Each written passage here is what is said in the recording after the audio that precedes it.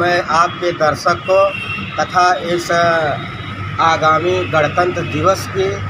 और बसंत पंचमी के शुभ अवसर पर माननीय बहन जी के निर्देश पर हमारे इस जनपद संत रविदास नगर भदोही में